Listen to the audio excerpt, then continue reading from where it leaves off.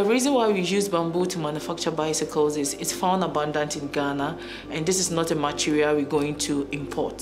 It's a new innovation. There wasn't existing bamboo bike builders in our country.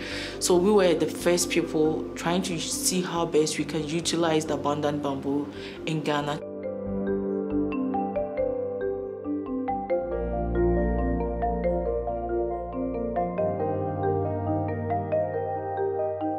I love the idea of reusing bamboo to promote sustainable cycling. People want to go green, low carbon, lean energy efficient.